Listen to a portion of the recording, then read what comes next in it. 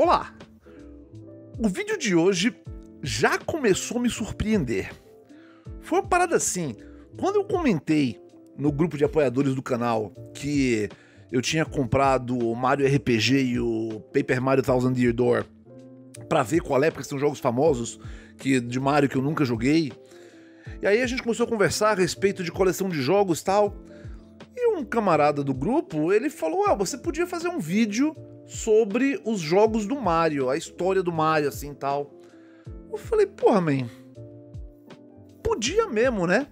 E eu falei isso pensando, quantos jogos do Mario tem? Tipo, tipo 10? Sei lá, ó. Nintendinho, Super Nintendo 64, GameCube, Wii, Wii U, Switch. Ah, Game Boy, vai. Deve ter uns 8. Quem olhar aí a duração desse vídeo, é, tem um pouquinho mais do que 8.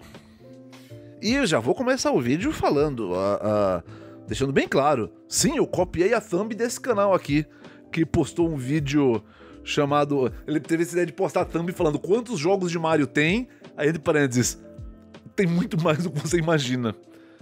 E a real é essa. Tem muito mais do que você imagina. Nesse vídeo, então, eu vou falar brevemente dos jogos do Mario com uma definição importante.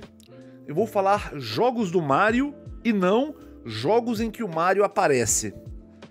Se eu fosse falar de todos os jogos em que o Mario aparece, sem sacanagem, aquele vídeo de análise histórica de saga de uso com 6 horas de duração ia parecer curto. É, eu vou explicando na medida que eu pensei. E aí, tipo, eu também não quero super ficar falando sobre eh, os jogos de esporte do Mario. Eu vou falar por cima, mas eu acho que eu acho que eu vou adendando a essas regras, vou adicionando, refinando as regras à medida que a gente avançar. Eu já fiz a minha listinha aqui de todos os jogos do Mario que eu tenho algo a falar sobre. E honestamente eu acho bom já rodar a vinheta porque eu presinto que esse vídeo vai ficar longo. Afinal de contas, bom, não é afinal de contas, mas você de agora em diante vai poder, sempre que aparecer um maluco dizendo: "Ah, mano, Nintendo só tem jogo do Mario, é tudo igual". Você pode mandar esse vídeo para ele porque honestamente, eu acho que dizer que jogo do Mario é tudo igual é ainda pior que dizer que jogo de PS5 é tudo igual. A, a amplitude de de variação entre os jogos é gigantesca. E para deixar bem claro, antes que apareça alguém. Sempre que eu faço vídeo falando de videogame, aparecem uns malucos bostejando. É, eu não sou particularmente fã da Nintendo. Eu sempre me considerei ceguista. Gosto muito mais do Mega Drive que do Super Nintendo, e acho que isso define a personalidade da pessoa. Mas eu reconheço um trabalho bem feito. Eu gostaria de lembrar todo mundo que vai comentar que assim que o Switch foi lançado, eu fiz um vídeo falando sobre como ele ia flopar, como ele ia ser uma bosta, e seria melhor para Nintendo fazer igual a Sega, cortar sua divisão de hardware e focar só em fazer jogo. Hoje, com quase 50 jogos de Switch na coleção, eu claramente fui convencido. Mas quem acompanha o canal ou já conversou comigo por 5 minutos sabe que me convencer dá uma quantidade razoável de trabalho. Pois é, a Nintendo conseguiu. Os caras fazem bons jogos, fazer o quê? É quando eu digo que eu não sou nintendista, é que eu não sou particularmente fã da Nintendo. Eu entendo um monte de coisa que a empresa faz, eu não entendo algumas das coisas que ela faz, é verdade. Eu não acho que seja uma empresa perfeita, eu também não acho que seja uma. A pior... Nossa, eu acho muito engraçado a galera que fica. Nintendo é a pior empresa de games que existe. Nintendo anticonsumidor. A Ubisoft tá aí deletando jogos pelos quais você pagou dinheiro. Ruim é a Nintendo. A Blizzard tá aí fazendo o seu CD original que você comprou na década de 90 parar de funcionar. Não, mas ruim é a Nintendo. A EA tá aí brigando, brigando com unhas e dentes para tornar videogame, a venda de videogames ilegal para quem for menor de 18 anos na Europa e consequentemente no mundo. Não, mas ruim é a Nintendo. Beleza, gente. Eu, eu também queria que a Nintendo fizesse jogo em português, traduzisse jogos em português, e eu também queria que os jogos fossem mais baratos. Mas. Aguenta aí, daí, daí pra pior empresa de games, falta um bocado. Vamos rodar a vinheta. É, esse vídeo já vai ficar longo o suficiente e eu devo dizer que eu percebo a ironia. Eu não sei que tamanho vai ficar esse vídeo, mas eu percebo a ironia de eu passar essa quantidade de tempo falando sobre jogos do Mario e querer argumentar que eu não me considero particularmente nintendista. Então, roda a vinheta e vamos nessa.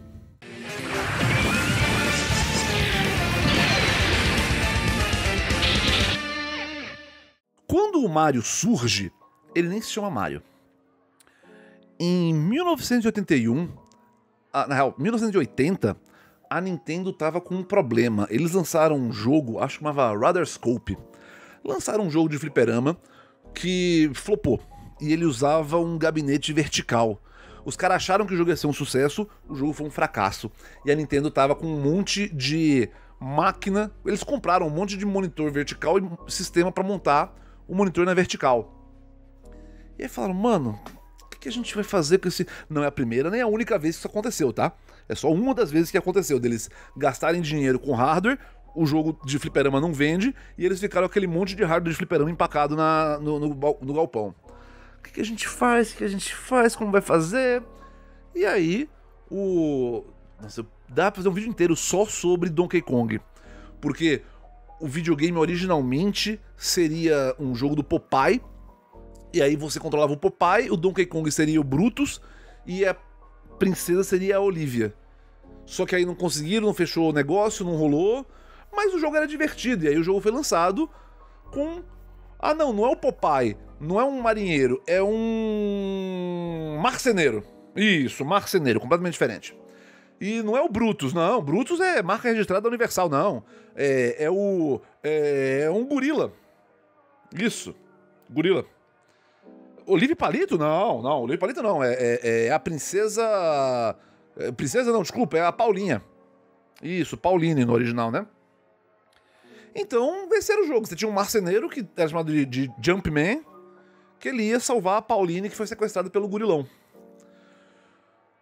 E o tal do Donkey Kong é engraçado porque eles fizeram o lance do macaco para não não infringir propriedade intelectual da Universal Studios e foram processados pela Universal Studios que alegava que o nome Donkey Kong infringia na marca King Kong. Enquanto o japonês que deu o nome pra coisa, literalmente só achava que Kong era macaco em inglês, né? Mickey Mouse, mouse é rato, Donald Duck, Duck é pato, King Kong, Kong é macaco. Mas o Donkey Kong foi o primeiro passo do Mario. Quem sabe eu faço um vídeo. Eu total podia fazer um vídeo sobre Donkey Kong no futuro. Se isso interessa você, comentários por gentileza. E o tal do Jumpman não tinha um super nome, ele, ele meio que foi encaixado ali e foi. O... Enquanto isso, Mario Segali era o senhorio da Nintendo of America. Ele era o dono do escritório onde a Nintendo funcionava e o cara era meio zureta das ideias. Tem uma história aí que, pelo menos uma vez, ele invadiu uma reunião da diretoria. Porque cadê meu, cadê meu aluguel? Paga o aluguel, paga, paga agora o aluguel. Eu quero agora o aluguel. E aí, o, o, o Jumpman, que era baixinho, gordinho, bigodudo, o Mario Segali também era baixinho, gordinho, bigodudo, sabe?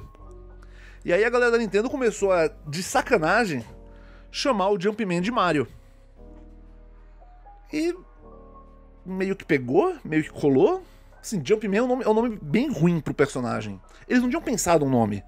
É só fez um bonequinho ali que por acaso era baixinho e gordinho. Apareceu um cara baixinho e gordinho chamando Mario enchendo o saco. Começaram a chamar o boneco de Mario. E o nome colou. Em 83, e assim, Donkey Kong foi um sucesso estrondoso de vendas. Vendeu fliperama pra caramba, eh, desovou aquele monte de hardware empacado da Nintendo. Em 83, a Nintendo lança o Mario Brothers, o primeiro jogo do Mario. Entenda, teve outro, tiveram outros jogos do Mario, do Mario, não, perdão, outros jogos com o Mario entre 81 e 83. Ele meio que era gostosinho de desenhar, foram com a cara, O Shigeru Miyamoto pegou gosto pelo menino. Então ele meio que botava o Mario em outros jogos da Nintendo. Ele botava em Wrecking Crew, botava. Vocês vão ver. Isso é uma coisa, inclusive, que é o motivo quando eu vou falar de jogo do Mario. Mano, o, Breakout do Game Boy tem o Mario. Como tem o Mario? Ah, é porque no começo do jogo, quando vai mover a pecinha, aparece o Mario e entra. O, o tênis do Game Boy. Acho, não, tênis do Nintendinho tem Mario. Como é o Mario? É, ah, é o Mario Tênis. Não, não é o Mario Tênis. É só que, como o jogo é da Nintendo, antes da partida começar, o Mario chega e sobe na cadeira de juiz. E ele é o juiz da, da, da partida. Tem um monte de jogo em que o Mario aparece ali no cantinho. Vem ali como uma aparição especial. Eu não vou falar de nenhum desses jogos, ok? O primeiro jogo do Mario foi Mario Brothers, de 83. É aquele jogo em que. Pô, também foi a primeira aparição do Luigi, né? É aquele jogo em que você tá num esgoto e aí nos canos de cima saem as tartarugas e você tem que matar todas elas e tentar matar o seu coleguinha também, né? Só que você não pode pular em cima das tartarugas, você tem que pular embaixo delas. Aí quando você pula embaixo dela, ela vira de ponta cabeça e você consegue pular nela. E ele era um jogo semi-competitivo, você podia se juntar com seu com seu amigo e tentar ir o mais longe que conseguisse do jogo. Também dava para jogar sozinho assim.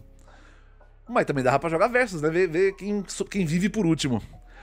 O Mario Brothers foi um sucesso, foi um bom jogo, foi relançado 400 mil vezes.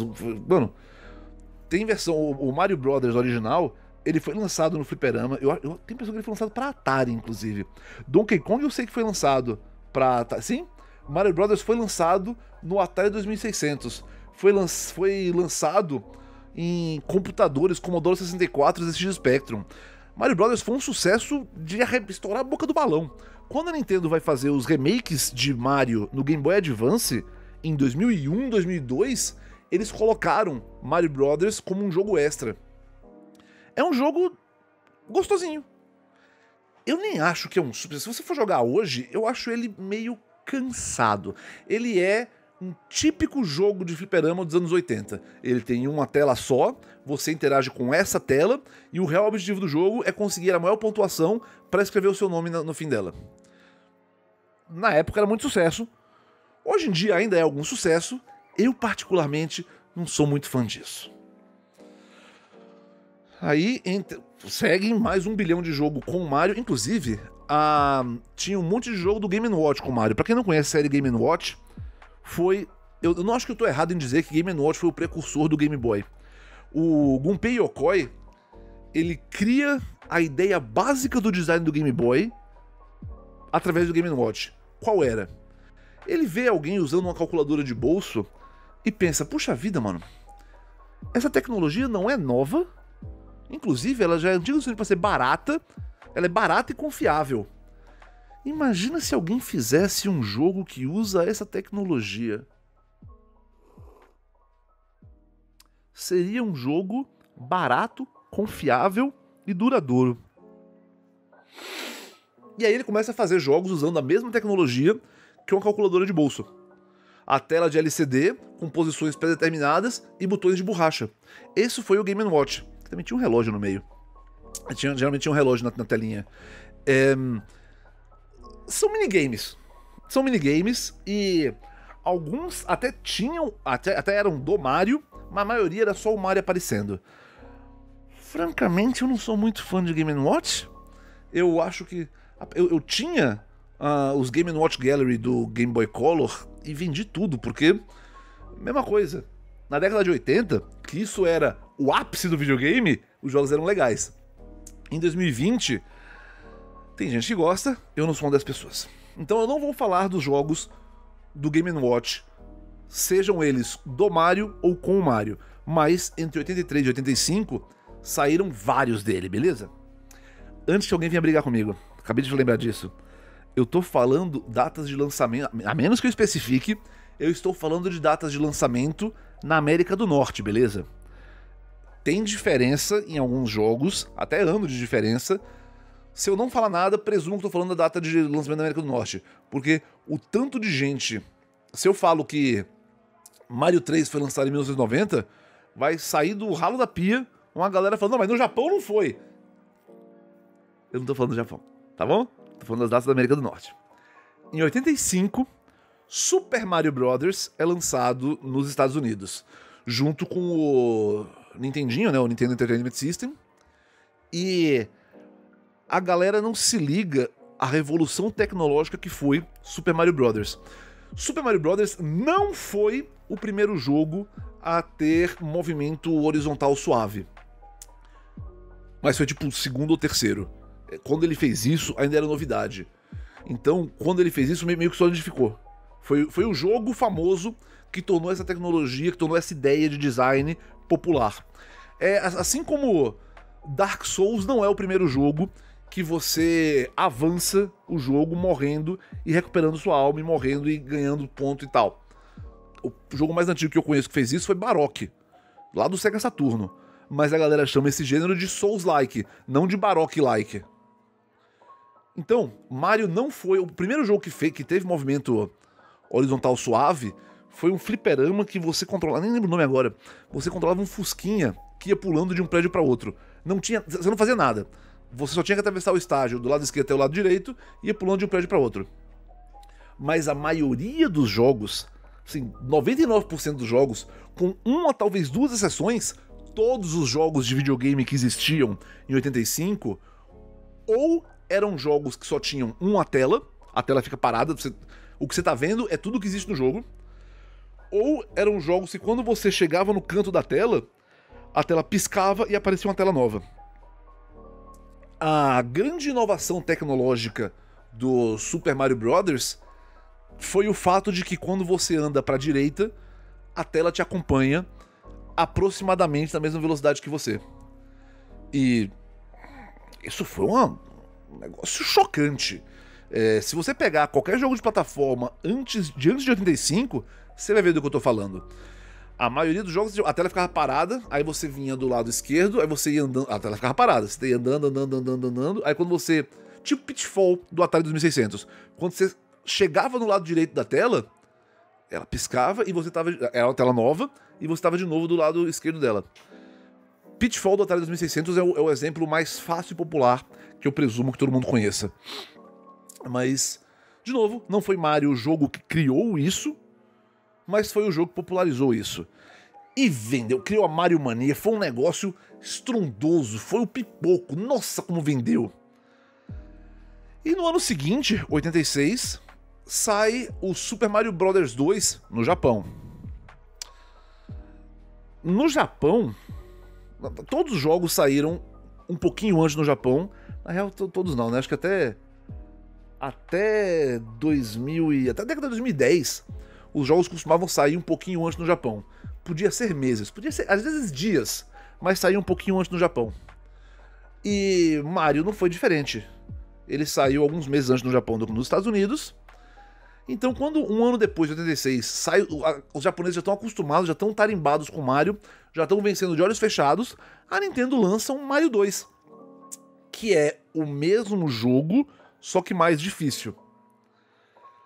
A Nintendo of America fala, mano, americano não vai conseguir jogar isso. Esse jogo é muito difícil. O jogo acabou de sair aqui, tipo, Mario saiu no fim de 85, Mario 2 saiu no começo de 86. Espero que seja no começo, meu Deus do céu, espero que não seja errado nisso. É, Mario, Mario 1 saiu no fim de 85, Mario 2 saiu em 86. Os americanos falam, mano, não vai, não tem como. Sem condições do, do, da galera aqui jogar isso. A gente precisa de outro jogo. E aí busca, monta, faz o que vá. Em 88, nos Estados Unidos é lançado então o Super Mario Bros 2, a versão americana, que na verdade é um remake do jogo Doki Doki Panic. E o Mekujo Doki Doki Panic, Doki Doki Panic é um jogo de plataforma também feito pelo Shigeru Miyamoto para um evento de uma emissora japonesa, era um, um jogo um jogo licenciado de um programa de televisão japonês. E os caras só pegaram o jogo, pintaram o Mario em cima e. Beleza. Os quatro... No Doki Doki Panic são quatro personagens: o papai, a mamãe, o filhinho e a filhinha. Então eles pegam pro Mario 2, faz, tá, é o Mario, a princesa, o Luigi e o Toad. O personagem é o mesmo, o, o vilão é o mesmo, em vez de ser o, o, Bowser, é um sapo gigante chamado Ort. As mecânicas são as mesmas, tem um negócio de você arrancar rabanete do chão para jogar no, nos inimigos, de usar poção mágica para abrir porta. É um bom jogo. Mas não foi não foi isso que os japoneses chamavam de Mario 2. E a história é engraçada porque enquanto o Mario 2 saiu no Japão em 86, o Mario 2 saiu nos Estados Unidos em 88 e não era o mesmo Mario 2. O Mario 2 japonês só vai sair nos Estados Unidos em 93, como sendo chamado de Super Mario The Lost Levels. Não, não é como se fosse uma DLC, como se não, não, não é um jogo diferente, são só uns estágios adicionais para você que já manja muito de Super Mario Bros. Nessa época eu não estava acompanhando comunidade gamer, tá? Então eu não sei como foi a resposta da galera. Eu sei que em 93, quando chegou o, o Mario All Stars, a galera dizia: Nossa, Mario Lost Levels é de virar o peão do avesso. Mas Mario 2 é legal. Uma coisa interessante também, em 88, o junto com o Mario 2, Mario 3 também foi lançado no Japão em 88, tá? E aí tem essa é, é, eu acho que esse é o maior salto entre a versão americana e a versão japonesa do, do jogo. Enquanto o Mario 2 nos, no, acho que é daí que vem aquela história de, ah não, meu tio trabalha na Nintendo e eles já tem o Switch 2, já tem o Switch 3. Eu não acho que as crianças de hoje em dia falem isso, mas era uma piada recorrente quando eu era criança, de falar, não, meu, meu, eu tenho um tio que trabalha na Nintendo e ele falou que já existe o Ultra Nintendo, o Nintendinho, o Super Nintendo, já vai sair o Ultra Nintendo, porque lá no Japão já tem. Eu acho que a origem é exatamente essa. Porque no mesmo ano que saiu Mario 2 nos Estados Unidos, saiu Mario 3 no Japão. E no mesmo ano que saiu Mario 3 no Japão, saiu também o Mega Drive no Japão. Que aí é o ponto que eu levanto que o Mega Drive ele não foi feito para concorrer com o Super Nintendo, foi feito para concorrer com o Nintendinho. E aí você olhava para tudo bem, o Sonic demorou ainda uns anos para sair, mas mesmo os primeiros jogos do Mega Drive, mesmo os Shinobi e SWAT Castle of Illusion eram muito mais bonitos e chamativos do que Mario 2, Mario 3. Eu, eu, concordo que Mario 3 é melhor do que qualquer jogo de Mega Drive lançado em 1988. Mas os de Mega Drive eram mais bonitos. Então, como eu dizia, o Mario 3 ele foi lançado no Japão em 88 e foi lançado nos Estados Unidos só em 1990, com um asterisco gigantesco. Tecnicamente, ele foi lançado nos Estados Unidos em 89, mas em 89 ele foi lançado nos fliperamas. Existia fliperama da Nintendo, tipo o Neo Geo MVS, que o dono do fliperama conseguia trocar cartucho. Então ele foi lançado nos fliperamas em 89, e eu imagino, imagino, isso não, não é, tem fonte nenhuma de lugar nenhum, é, tirei do, do, do ar. Fonte e voz da minha cabeça. Mas eu imagino que o atraso para lançar Mario 3 nos Estados Unidos tenha sido, primeiro, para vender fliperama, e segundo, para conseguir encaixar o lançamento de Mario 3 junto com o filme The Wizard, que é. O filme é basicamente a propaganda de Mario 3. Todo o plot do filme revolve ao redor de um campeonato de Mario 3. Como funciona o campeonato de Mario 3? Então, o jogo de fliperama, cara. Inclusive a Warp Zone, a famosa Warp Zone de Mario 3, foi revelada ao público em The Wizard. Legal, então o Mario 1 inovou andando pra direita. é engraçado, o Mario 1 é literalmente tão velho quanto andar pra frente. O Mario 2 no Japão era uma versão muito mais difícil e nos Estados Unidos era um remake de um jogo licenciado. E o Mario 3, qual foi a inovação dele? Tudo. Mario 3 foi uma revolução. Ma Mario 3 era o Game to Beat. Pra quem é um pouquinho mais velho, Mario 3 era o Crysis de, de 88. O Mario 3 era o Elden Ring de 88. Mario 3 era o Game of the Year, era o jogo que todo mundo ficava, oh, da hora esse jogo. Não é assim o Mario 3, mas é legal, é legal. O Mario 3 ele conseguia misturar. Ele era um jogo de plataforma, tal qual o primeiro Mario. Mas o lance dele ter um mapa mundi e múltiplos caminhos e múltiplos modos de jogo e vários itens, e você podia acumular os itens, ele era quase um jogo de aventura. E esse foi um sucesso estrondoso. Ele levou a capacidade do Nintendinho ao máximo. Ele era muito mais bonito, com música muito melhor que o jogo médio de Nintendinho. Ele foi assim, eu ouso dizer que do ponto de vista técnico, o Mario 3 possa ser considerado o jogo, o, o, jogo mais avançado do Nintendinho, o melhor jogo do Nintendinho, do ponto de vista técnico. Do ponto de vista de jogabilidade, certamente é o meu jogo favorito de Nintendinho. É, eu acho que. Putz. É um pusta jogo. O único defeito que Mario 3 tem e eu não falei tinha, falei tem, porque até hoje é que não dá para salvar. Em todos os remakes de Mario 3, e tiveram vários remakes de Mario 3, eles adicionaram a função de save. Porque você tem que ser maluco para jogar um jogo daquele tamanho. Não basta ser bom, bonito e com música boa, ele também era longo pra caramba. Então, a, é, pra quem não lembra, a versão de Nintendinho não salva.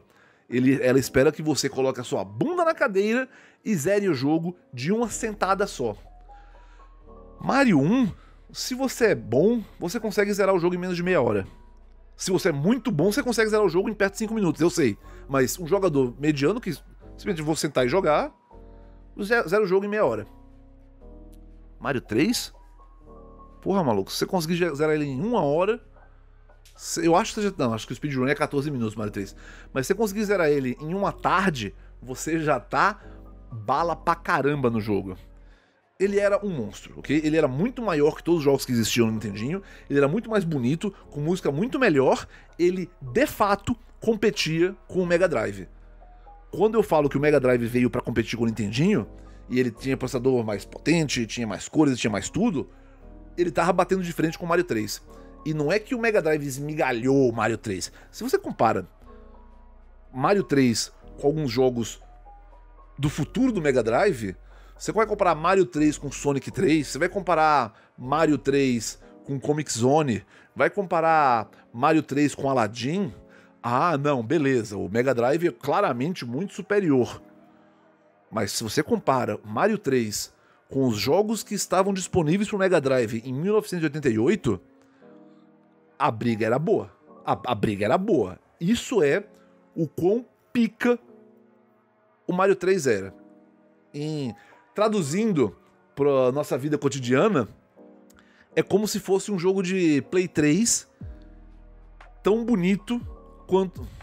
Eu não falo de Play 4, não quero comparar Play 4 com Play 5, porque o Play 5, sua... sem querer fazer flame, mas a maioria dos jogos do Play 5 também estão disponíveis no Play 4. Então é como se fosse um jogo de Play 3 que ele é tão bonito e ainda mais longo e mais desafiador que os jogos do Play 5. Mario 3 foi uma absoluta revolução, então eu não me surpreendo. Por isso que daí a minha teoria de que o jogo foi atrasado nos Estados Unidos de propósito.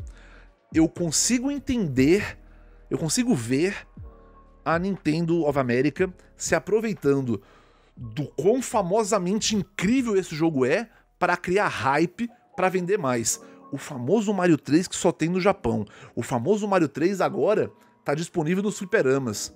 Nossa, ninguém consegue zerar Mario 3 no fliperama, hein? Então agora fica esperto porque Mario 3 vai sair uma versão doméstica ano que vem. E aí quando sai a versão doméstica ano que vem, a galera compra de baseada. Foi, porra, eu comparei com o Elden Ring. Foi o Pokémon de 88. Galera se matando. 90 no caso, 1990. Galera se matando pra comprar. Se você tinha o Nintendinho e você não tinha Mario 3, pra que que você tem o Nintendinho? Em 89 é lançado o Game Boy. Primeiro Game Boy, tijolão. E a Nintendo quer que tenha um Mario pro Game Boy. Só que o Shigeru Miyamoto tá ocupado com outras paradas. E o Game Boy é um projeto do Gunpei Yokoi, não do Shigeru Miyamoto. Então, o, o Gunpei Yokoi chama o Satoru Okada, que produziu o Kid Icarus, e fala para ele: escuta, eu quero que você faça um Mario. Como é que é, rapaz? Mario é, é o jogo do Shigeru. Não, não, não, não, esquece o Shigeru. Eu quero que você faça um Mario pro Game Boy. O, o Miyamoto. Primeiro, o Miyamoto é parça meu. Eu me acerto com ele depois. Segundo, o Miyamoto é funcionário, igual eu e você. Mario é da Nintendo, né? não é do Miyamoto. Eu quero que você faça um jogo do Mario pro Game Boy. E o Satoru Okada e faz. Ele faz um jogo, que é tipo um Mario. Na pressa que ele fez para lançar o jogo no lançamento do Game Boy, foi bom o suficiente.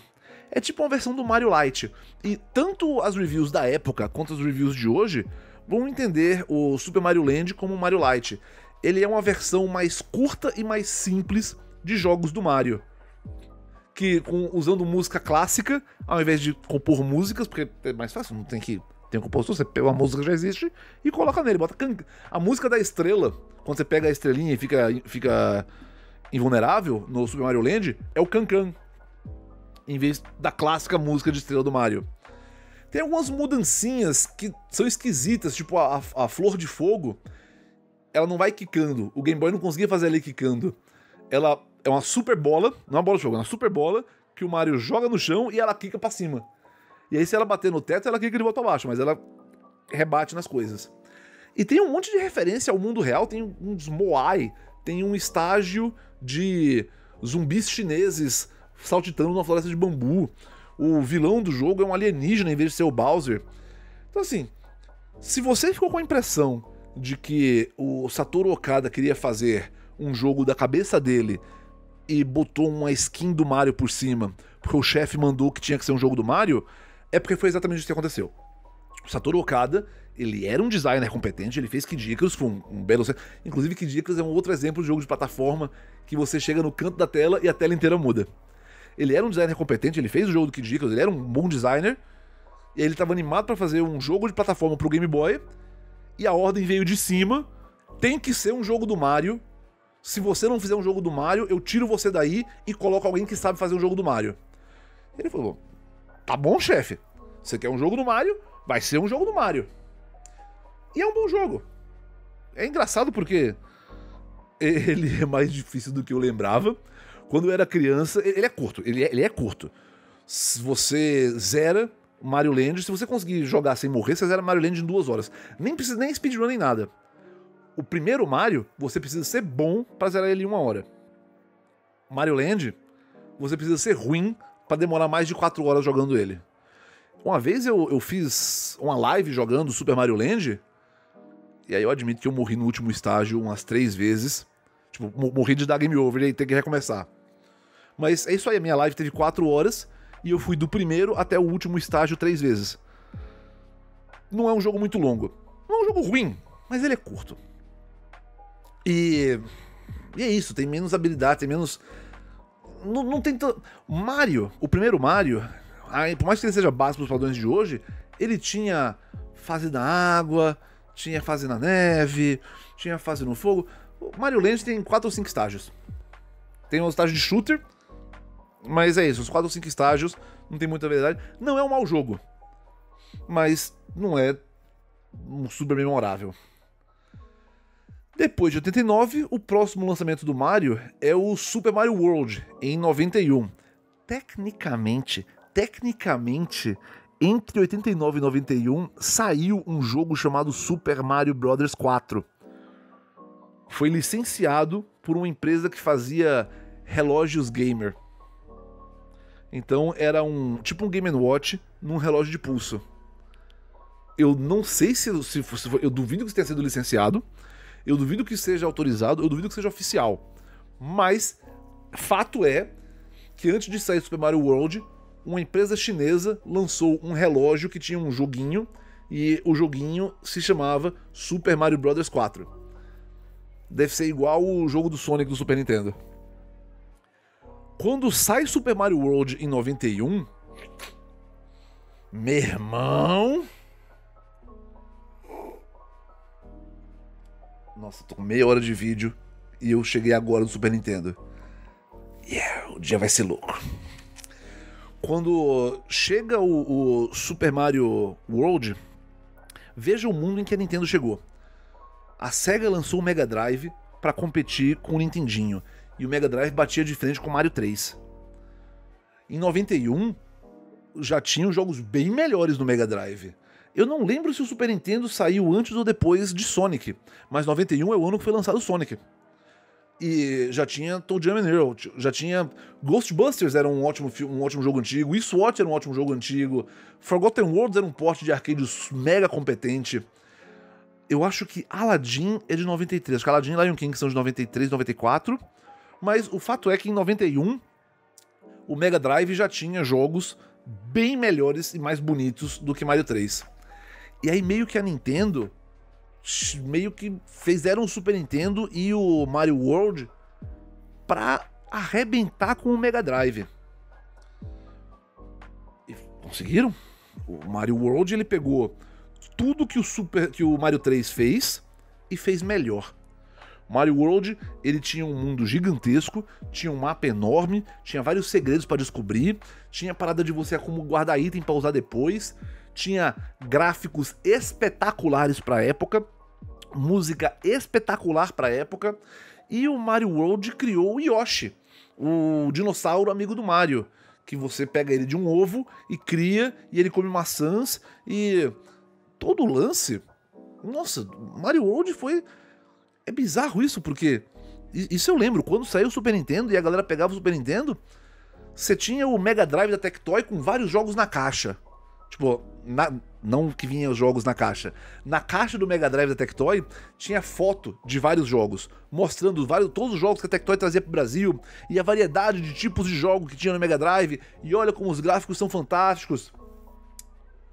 O Super Nintendo tinha Mario. Ponto final e era o suficiente. Nenhum jogo controlava tão bem, nenhum jogo era tão gostoso, nenhum jogo era tão longo. E outra coisa, ao contrário do Mario 3, o Super Mario World salvava. Inclusive, salvava, não lembro se eram dois jogos ou três jogos, né? ele, ele tinha múltiplos slots de save. Então você conseguia jogar, seu irmão conseguia jogar, dava pra alugar jogo. Era assim. Um, um, a obra-prima isso é meio que um padrão, né? Os, é muito raro sair um jogo da franquia principal do Mario que simplesmente seja, ah, é um jogo do Mario. Eles frequentemente deturpam a indústria ao seu redor. Mario World não foi uma exceção. Eu acho que as, os dois principais, os três principais pontos do Mario World foram o fato dele salvar, o tanto de estágio secreto que tinha para abrir e o Yoshi. Não dá para subestimar a potência que um mascote fofinho tem no jogo, o Pikachu que o diga. Mas a capacidade técnica de salvar, junto com a quantidade de segredo que tinha no jogo, fazia todo mundo ser louco pelo jogo. Eu duvido muito que Donkey Kong Country não tenha se inspirado em Mario World para ter esse negócio de fazer 101% do jogo. Mario World foi o marco e assim, até muito recentemente, Mario World era o meu favorito. Parte daquilo de eu não ser super fã da Nintendo, né? Sai um jogo do Mario, eu jogava e falei, é legal. Mas não é Mario World, né? Em 92, sai o Super Mario Kart. E aqui a gente já começa a ver como spin-offs do Mario conseguem ser jogos do Mario, mas não realmente são jogos do Mario. Mario Kart não realmente é um jogo de Mario, né? Quando eu digo vou jogar, vou jogar Mario, ninguém tá pensando em Mario Kart. E o Mario Kart de Super Nintendo, ele foi mais uma, uma, uma coisa incrível do ponto de vista técnico do que de jogabilidade. Na época, o fato dele conseguir colocar dois jogadores na tela com, aquele, com aquela visão em terceira pessoa fazia a cabeça da galera explodir. Os outros videogames eram tecnicamente incapazes de fazer. Computadores tinham dificuldade em fazer esse, esse tipo de gráfico na época. Mas a jogabilidade no. Eu acho que a jogabilidade de Mario Kart ficou realmente boa em Mario Kart 64. E eu não vou falar dos outros Mario Kart nessa lista, tá? Não, não, não estranhe que eu vou pular. Todos os Mario Karts eles são basicamente a mesma ideia. É um jogo bem arcade, de corrida. Ele criou esse lance de fazer um jogo de corrida em que a corrida não é tudo. Inclusive a corrida é, é lá embaixo. É mais a batalha, é mais. Nada precisa fazer muito sentido.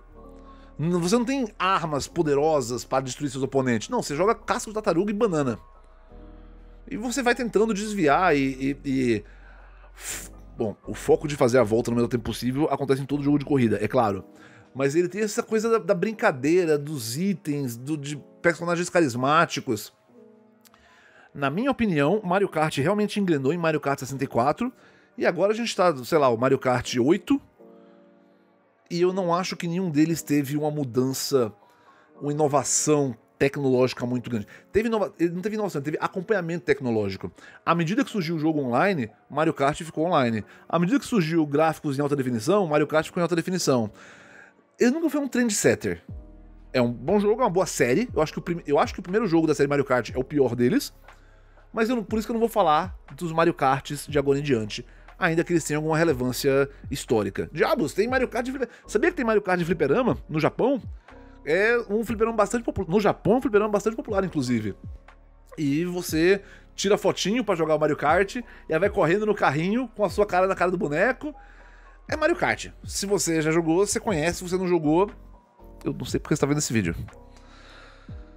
Em 92, sai o Super Mario Land 2 para Game Boy.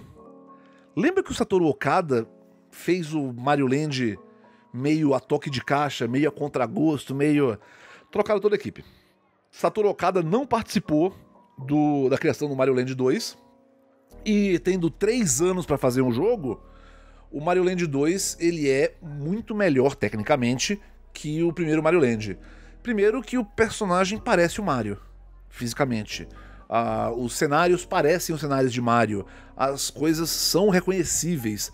O Mario Land, ele foi feito. Ele foi feito baseado nos gráficos do Nintendinho. E o Mario Land 2 foi feito baseado nos gráficos do Super Nintendo. Acho que essa é a melhor forma que eu consigo explicar isso. É, Mario Land 2 é a primeira aparição do Wario. Wario é o vilão de Mario Land 2. Mas fora isso, ele é um jogo que funciona como, assim como Mario Land era uma versão light do primeiro Super Mario Bros., o Super Mario Land 2 ele é uma versão light do Super Mario World. Você tem um mundo que você viaja pelo mundo eh, nos estágios onde você quiser. Você tem a função de save, é um jogo bem maior, tem gráficos muito melhores, tem músicas muito melhores, mas ainda é uma versão super reduzida do Super Mario World. Em 93, começam a. Eu não sei que bicho mordeu a Nintendo que os caras inventaram de começar a fazer jogos educativos do Mario. E eu não vou falar de nenhum deles, mas tô falando de jogos tipo Mario is Missing, em que você controla o Luigi e aí você viaja pelo mundo tentando descobrir onde o Mario está. E aí o jogo fala: "Ah, o Mario está no país aonde fica a Torre de Pisa". E aí você tem que onde fica a Torre de Pisa, crianças? Hum, o Mario está na Itália. Parabéns, parabéns! Agora, o Mario está no país onde fica o Taj Mahal. Onde fica o Taj Mahal? Ah, o Mario está na Índia. E é isso o jogo. É um foco educativo. E não é só esse, tem, tem um de matemática, o, o Mario Smith é basicamente de geografia. Tem um de história, tem um de matemática, tem uma série de jogos educativos do Mario, que não é realmente com o Mario, é com o Luigi. Ou se for com o Mario, é só ele tá fazendo as perguntas que você responde e eu não vou dar muita bola para eles. Em 93, o que é realmente relevante é o Super Mario All Stars, que tá rolando aqui atrás, que é o primeiro de vários compilados do Mario. O Super Mario. Tecnicamente, a versão que tá aqui atrás, saiu em 94, é o Super Mario All Stars mais o Mario World, que é um cartucho com Mario 1, Mario 2, Mario, Mario 2 tanto japonês quanto americano, Mario 3 e Super Mario World a brilhância desse jogo é que pouquíssimas pessoas. Pouquíssimas pessoas. Os três primeiros Marios, quatro no caso, foram sucessos de venda mundial. Mas quando eles fazem um remake, com gráfico novo, com som melhorado, com a habilidade de salvar o jogo no meio, isso é uma bruta diferença. E a Nintendo ainda coloca a cenoura no fim da vareta, que mesmo que você diga, ah, eu já tenho o Mario 1, 2 e 3 no Nintendinho. Não tem para que eu comprar esse jogo? Aí eles colocam o Mario Lost Levels, que foi o Mario 2 japonês, que faz 5 anos que as pessoas só escutam, escutam lendas. Olha, ouvi dizer que no Japão tem um Mario 2 secreto existe lá, que é uma versão mega difícil do Mario. Isso foi lançado, finalmente foi lançado no, na, na, América do Norte. Um, Junta isso com o fato de que Mario 3 agora tem a função de save. Então, se você não tinha o Mario 3 no seu Nintendinho, agora você pega Mario All Stars e tá engatilhado. Mesmo que você tivesse Mario 3 Nintendinho, o fato de agora você pode salvar o jogo e não tem que jogar ele inteiro de uma sentada só, já é uma proposta de valor incrível. Também sai em 90. Eu não sei nem porque eu coloquei isso aqui, é só um, só um exemplo para falar de jogos de puzzle do Mario.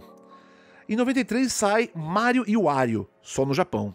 É um jogo basicamente feito para usar o mouse do Super Nintendo. Você sabia que o Super Nintendo tem um mouse? Pois é. Tem tipo uns três jogos que funcionam com o mouse Super Nintendo. Mario e Wario é um deles. Mas começam a sair vários jogos do Mario que são foca que são puzzles, não são plataforma.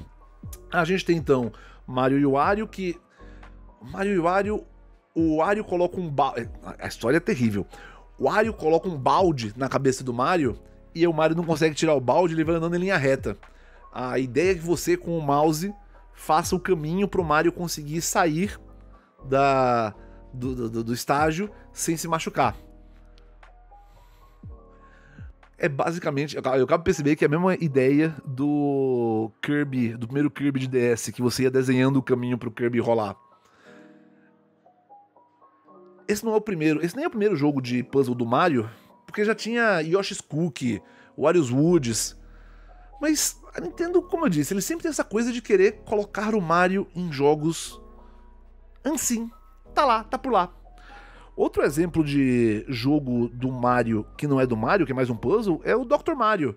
Que ele saiu no Nintendinho, acho que em 90 e. 80 e. 90, exatamente 90.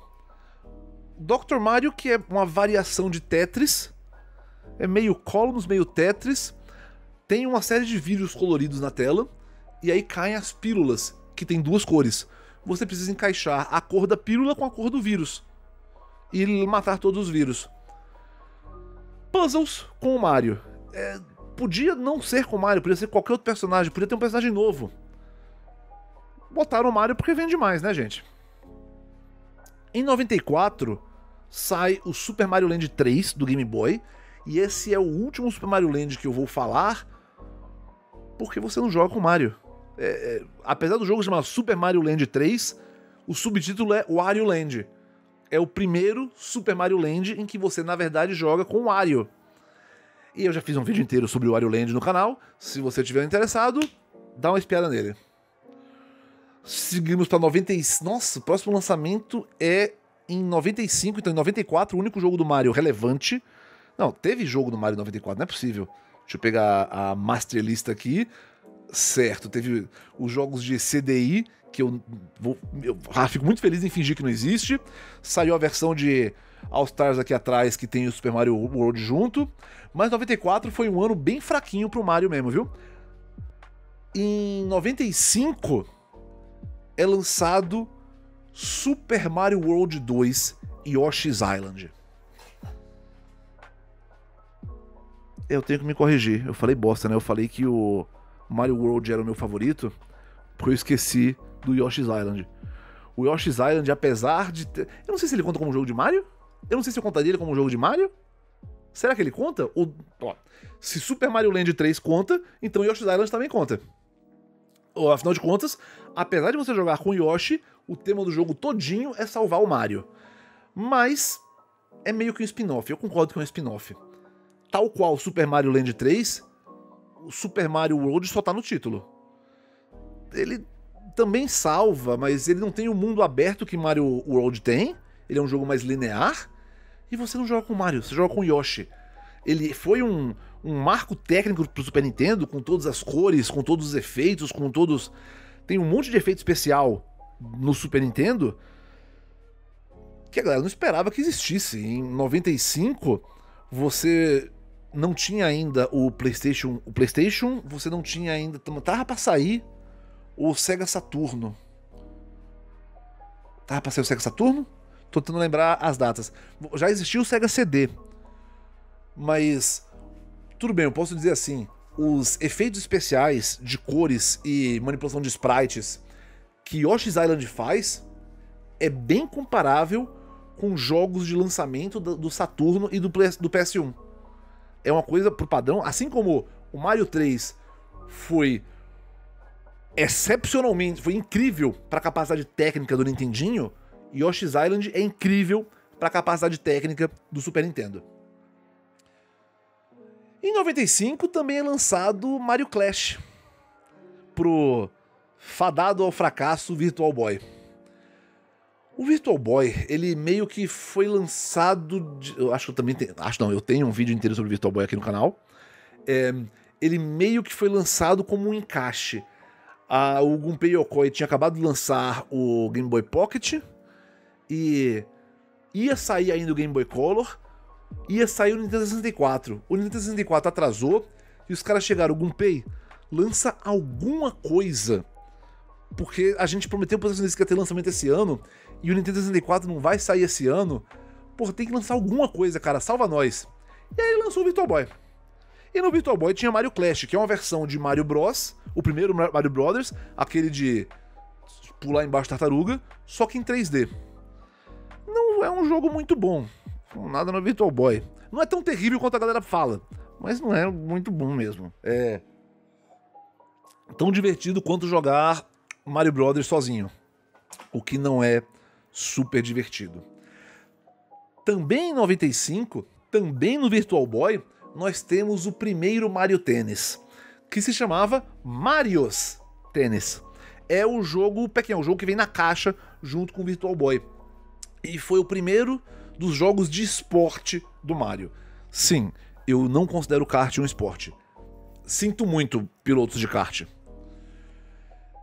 Depois de Mario Tênis, começa a ter tipo, vários jogos de esporte que são focados na simplicidade. Na época do Nintendinho, isso era bastante comum. Só que o jogo chamava tênis, golfe, beisebol. Não tinha o Mario na frente. E na época do Nintendinho, a simplicidade do jogo era uma necessidade técnica. Em 95, o jogo ser simples ou complexo, ser um simulador, tem muito mais espaço. A máquina é capaz de simular muito mais coisa do que a limitação do videogame. Então, os Marios Sport, ou seja, Mario Tênis, Mario Golf, Mario Soccer, é, eu, eu sei que o nome chama 3 on 3 Hoops, mas eu sempre vou chamar de Mario Basquete. São jogos propositalmente simplificados para que você jogue com um ou dois botões de maneira rápida. Eu também não vou falar desses jogos aqui, Em, primeiro, em primeiríssimo lugar, tipo, eu poderia dar vários motivos aqui pelos quais eu não vou falar de jogos de esportes num vídeo sobre os jogos do Mario. Mas o primeiríssimo, principal motivo é que eu não costumo gostar de jogos de esporte. E eu não gosto de falar de coisas que eu não manjo, então é melhor só deixar passar. Mario Tênis, Mario Golf, Mario Soccer, Mario Scambal, também não é Mario Soccer, é Mario Super Strikers. São jogos legais.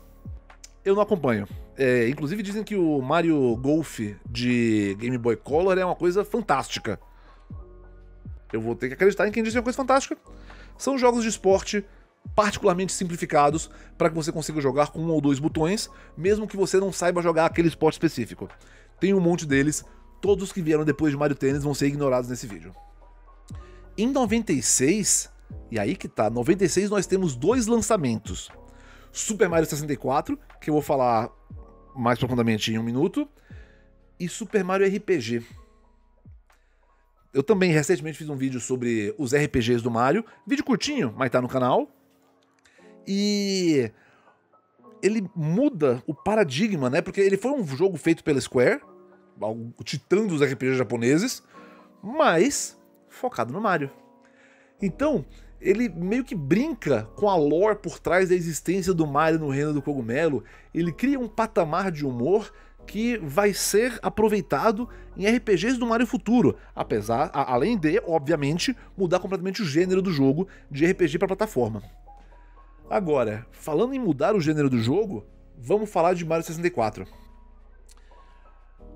Até então, os jogos do Mario, os jogos da série principal do Mario, eram jogos de plataforma. Você queria, você saía do lado esquerdo do estágio e ia andando para a direita até chegar no fim do estágio. Talvez no fim do estágio tivesse um chefe, mas é assim em Super Mario Bros., é assim em Super Mario Land, é assim em Super Mario World. Em Super Mario Land 1 e 2 é assim, em Super Mario Bros. 1, 2 e 3 é assim, Super Mario World 1 e 2 é assim. Esse é o padrão. Jogo do Mario, É um jogo plataforma que você atravessa o estágio, chega no final, tem um chefe. Super Mario 64 mudou isso. Super Mario 64 criou um novo gênero de jogo. Em Super Mario 64, bom, primeiro que ele é em 3D, mas ele muda o gênero porque o objetivo não é chegar até o fim do estágio.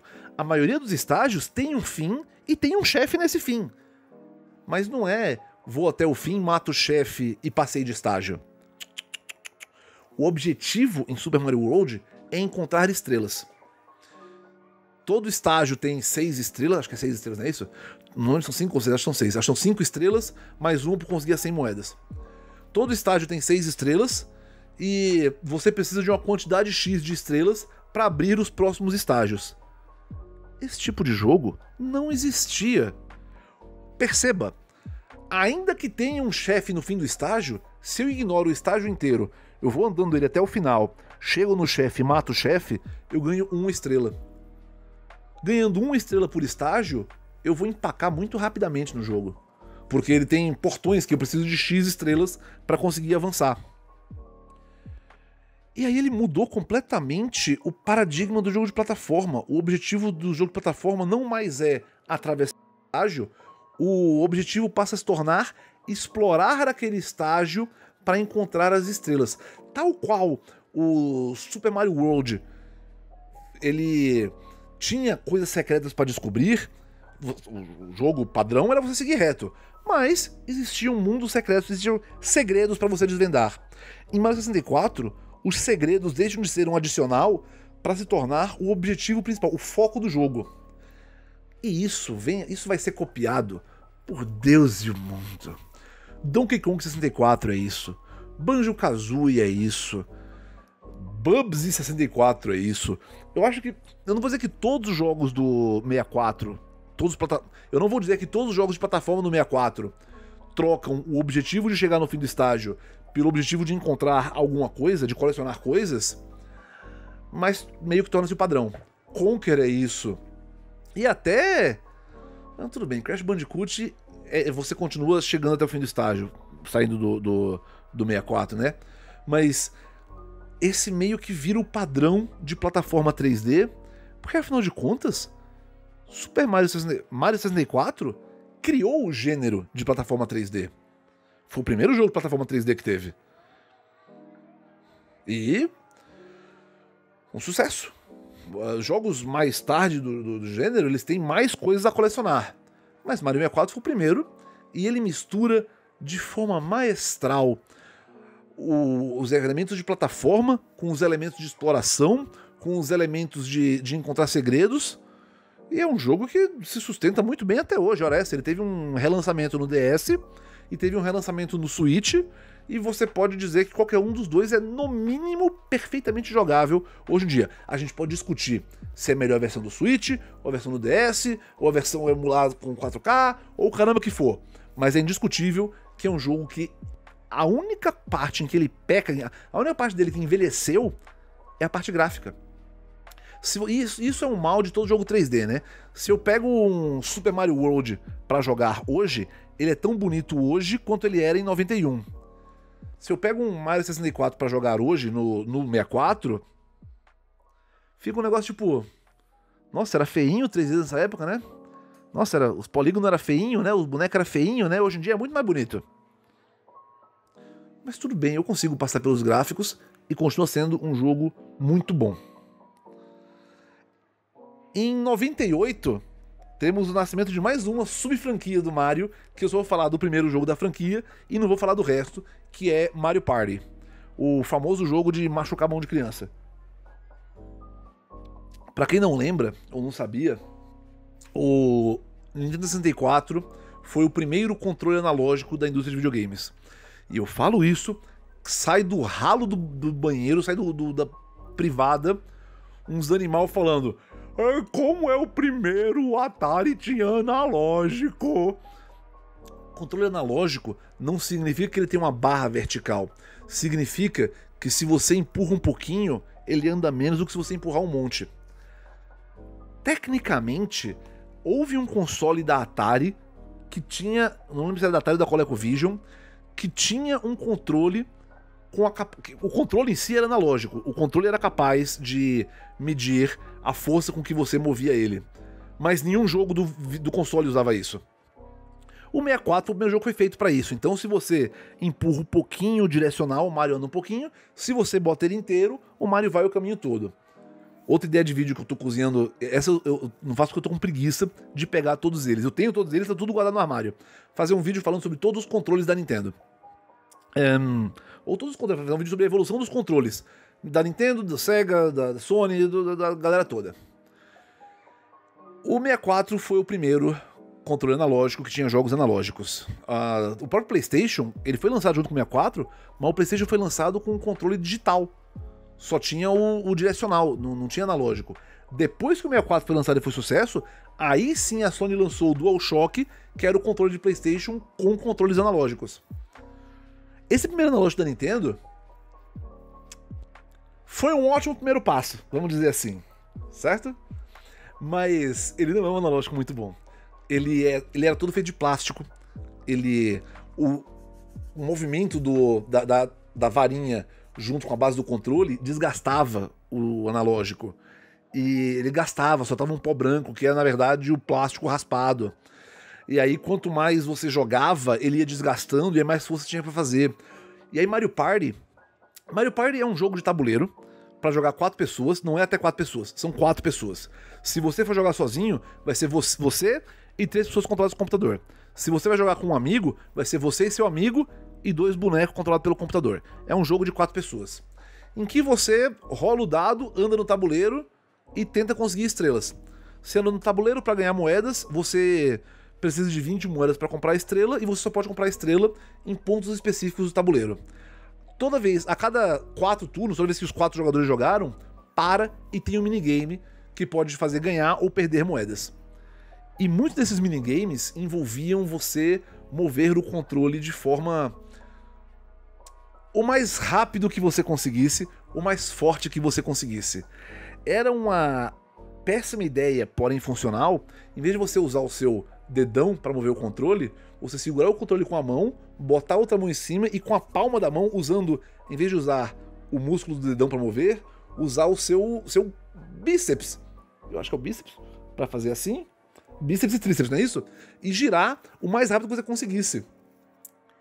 Exceto que o analógico do 64, de novo, era uma haste de plástico duro, sem borracha na ponta. E aí as crianças frequentemente rasgavam a palma da mão jogando Mario Party. Chegou a um ponto que a Nintendo foi processada e obrigada a distribuir luvas de proteção no Japão e Estados Unidos, junto com novas cópias de Mario Party. E aí tem Mario Party 2, 3, 4, 5, 6, acho que a gente tá no 10, acho que anunciaram recentemente o décimo primeiro. O numerado tem até Mario Party 10. E aí tem mais uns dois de Switch. Ainda existe a série Mario Party. Mas, de novo, não é um jogo do Mario. Podia ser qualquer outro, é um jogo de tabuleiro com minigames. É um, a definição de party. Por que chama Mario Party? Porque é um party game. Você chama uns amigos para casa, senta os quatro, pega uma garrafa de Coca-Cola e passa a tarde inteira jogando. Onde paramos aqui no Mario Party. Em 99, mais uma série. É, repara como, à medida que o Mario foi dominando o mundo, jogos do Mario vão ficando cada vez mais raros. Mario Bros. em 83, Mario World. Mario Bros. 83, Super Mario Bros. 85, Super Mario Bros. 2 em 86, Super Mario Bros. 3 em 88, Mario World em 91, Mario 64 em 96, a gente já tá em 99 e foi só o Mario 64. E no 64 foi só o Mario 64. Em 99 nós temos o Super Smash Bros., que é o jogo de luta da Nintendo. Claro que sendo um jogo de luta da Nintendo vai ter o Mario. Ele é um dos personagens jogáveis. Esse é o único Smash Bros. que eu vou falar sobre. Eu também não considero ele um jogo do Mario. Em 2001, nós temos jogos velhos do Mario. Em 2001, Super Mario Advance e Super Mario Advance 2 são lançados. Respectivamente, são remakes de Super Mario Bros. 2 e Super Mario World. Oh, cara de boca. De Super Mario Bros. 2 e. Yoshi's Island? Não, não, não, esse mesmo. Mario 2 e Mario World, isso mesmo. Afinal de contas, o Game Boy tinha sido lançado em 89, aí veio o Game Boy Pocket, aí veio o Game Boy Color. Quando chega o Game Boy Advance em 2001, a propaganda da Nintendo tá falando, ele é um Super Nintendo no seu bolso. E aí, para mostrar como ele é um Super Nintendo no seu bolso, eles vão lá e lançam um remake de um jogo de Nintendinho. Tudo bem, é com a mesma qualidade gráfica que o Mario All Stars, é com os gráficos de Super Nintendo. Mas eu acho que é por isso que eles lançaram os dois no mesmo ano. Lançam o remake de Super Mario World no Game Boy Advance, porque, olha, Super Mario World é aquele jogo maravilhoso que você consegue jogar, que você adorava jogar 10 anos atrás no seu Super Nintendo, agora ele cabe no seu bolso. Você pode jogar ele onde você quiser. Teve o Super Mario Advance 3 e 4, que são remakes do Super Mario World 2, Yoshi's Island, e do Mario 3. Mas eu não preciso falar deles, porque tudo que eu posso falar a respeito deles eu já falei nos respectivos jogos. Eu só gostaria de frisar que o último jogo do Mario novo que saiu foi em 96, tá? Em 2002 sai o Mario Sunshine. E assim como o Mario 64 mudou o paradigma, não é mais, o objetivo não é mais chegar no fim do estágio. O objetivo agora é encontrar as estrelas. No Mario Sunshine, o objetivo não é encontrar as estrelas, o objetivo é encontrar os shines. Mudou tudo, é a mesma coisa. Mudou tudinho, absolutamente a mesma coisa. A grande mudança de Mario Sunshine é mecânica. Agora o Mario não simplesmente corre e pula. Agora ele tem uma, uma VAP, uma máquina de lavagem a vapor, ele tem uma mochila que esguicha água e essa água limpa a sujeira. O plot de Mario Sunshine é que o Mario vai passar as férias na Ilha Delfino e assim que ele chega, a ilha tá toda pichada, toda coberta de merda e seja lá quem emporcalhou a ilha, essa pessoa colocou, assinou como Mario. Então os habitantes da ilha acham que o Mario foi quem emporcalhou tudo e dão para ele uma mochila de lavagem a jato para ele lavar a sujeira que supostamente ele fez. Plot de Mario nunca foi uma coisa muito importante, né? O importante é a jogabilidade. E mais uma vez o Mario muda tudo. O, assim que saiu o GameCube, tinha um demo técnico chamado Mario 128. Era um vídeo renderizado pelo GameCube mostrando 128 Marios correndo ao redor do logo do GameCube. E a galera ficou embasbacada. O GameCube era muito mais poderoso que o 64. O gráfico era maravilhoso. O Mario Sunshine, ele então. Ele aproveita isso. O Mario Sunshine ele tem água muito bonita, tem física muito bonita, física funciona com uma maravilha, muita iluminação, muito bonito, música muito boa, tudo esperado para um jogo do Mario. Mas ele muda isso, não é mais simplesmente pular. Os, as corridas e pulos ainda funcionam, mas agora são auxiliadas pela sua mochila de lavar coisa. É esquisito dizer isso como se fosse grande coisa, mas essa mochila permite que o Mario voe e essa mochila permite que o Mario atire. E o efeito da física, porque a mochila joga água e a água faz a lama, a bosta, a, o petróleo, seja lá o que for, encolher. E isso era tecnicamente incrível. Eu não acho que a mudança de Mario 64 para Mario Sunshine foi uma revolução tão grande quanto de Mario World para Mario 64, mas ainda foi uma maravilha técnica. É, é um jogo muito maior que Mario 64, e embora eu pessoalmente não goste tanto quanto de Mario 64, nem tanto quanto eu gosto de Yoshi's Island, nem tanto quanto eu gosto de Mario World, ele ainda foi o Mario do GameCube. Uh, em 2006, começa uma campanha da Nintendo, acho que 2005 começou, que a Nintendo vai lançar o novo Super Mario Bros. Nesse ponto, a última vez que saiu um Mario de plataforma foi em 93. E isso é contando que Yoshi's Island seja um Mario de plataforma, né? O último jogo do Mario de plataforma foi em 91. Plataforma clássica, de sai do lado esquerdo da tela e anda até o lado direito. Fazia 15 anos. E a Nintendo começa, ok, vamos lançar o novo Super Mario Bros. Ele é tipo Super Mario Bros., aquele jogo de 15 anos atrás, só que renovado. É a primeira aventura 2D do Mario em 15 anos. E quando eles lançam em 2006, de fato foi um sopro um sopro fresco num dia de verão. Foi para tipo, não é que faltava jogo, mas em 2000, na década de 2000, desde o fim da década de 90 na real, a indústria de videogame estava agindo como se jogos 2D fossem intrinsecamente inferiores. E aí um monte de jogo foi refeito em 3D, alguns que nem precisava. Eu pessoalmente acho que todos os Castlevania em 3D são piores que todos os Castlevania em 2D. Um, Duke Nukem, okay, Duke Nukem deu uma exagerada aqui, né?